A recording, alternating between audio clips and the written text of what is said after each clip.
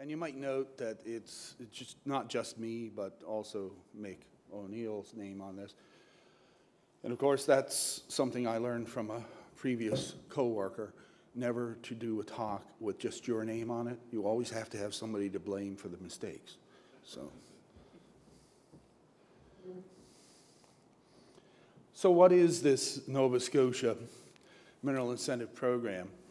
And I want to just sort of go over it. It was a three-year program uh, originally, and uh, the incentive program was created in 2012 with the goal to increase and promote mineral exploration, leading to mineral discoveries, new producing mines in the province, hopefully, and uh, the Nova Scotia Mineral Incentive Program funded several initiatives, and I just want to go through those very quickly to, so that you, you're aware of all the components. I know some people are aware of one, but not the other. So uh, they consisted of uh, components, the prospector grants to prospectors, advanced grants to advanced projects, uh, marketing grants, which assisted individuals in going to uh, things like prospectors and developers and other meetings that they wanted to go to to market their various uh, properties.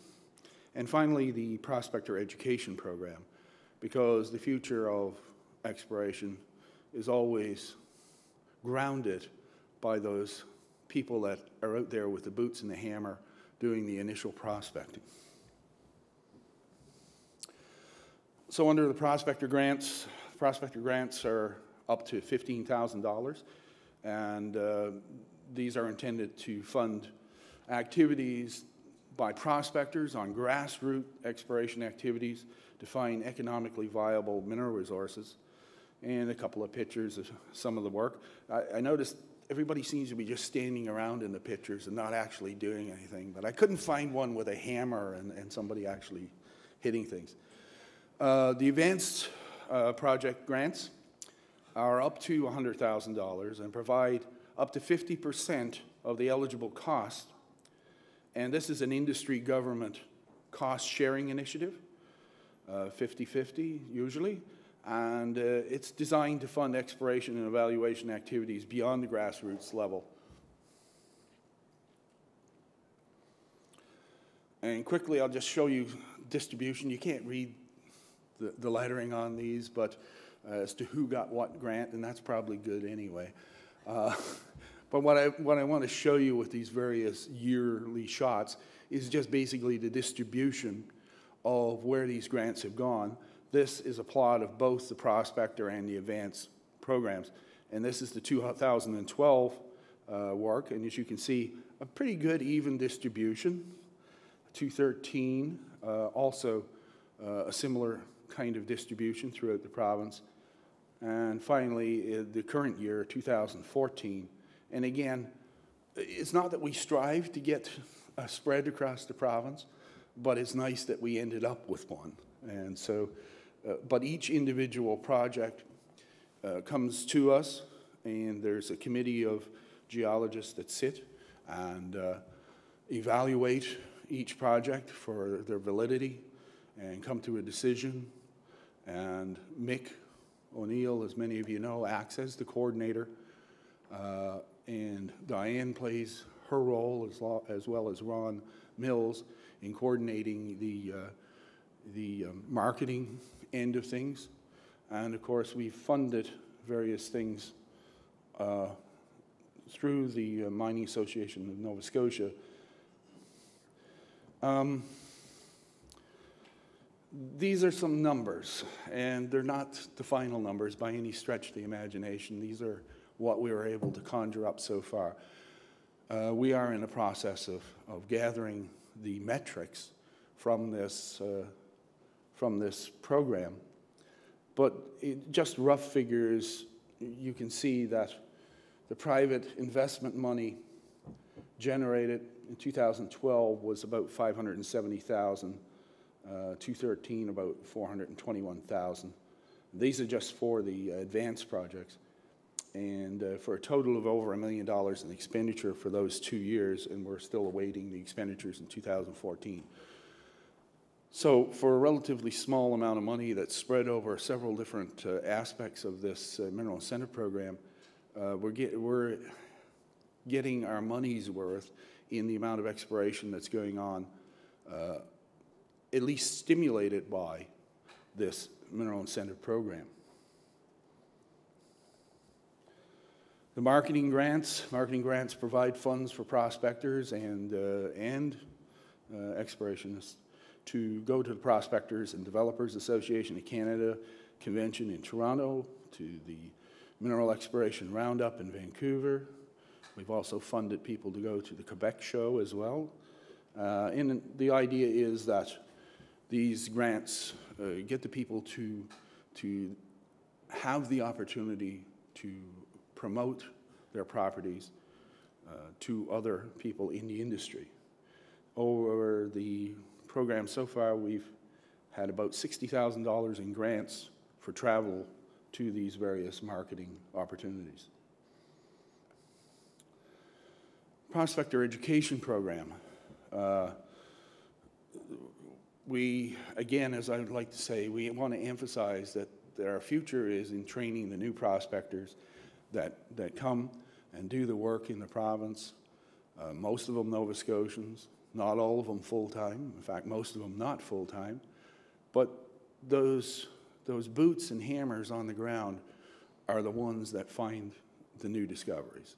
So, and one of the things that we're trying to do is provide funds so that there can be educational component so that the prospectors learn about new types of deposits, new ways of doing things.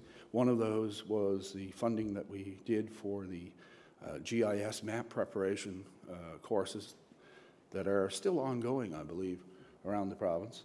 This is just a shot from one of them. Uh, the other thing that we funded through the Mining Association of Nova Scotia was the prospector education program was the uh, funding of 11 online videos on prospecting. And uh, you can see the various modules. And if you haven't had a chance to look at these, go on to the website, have a look at them. Very well done.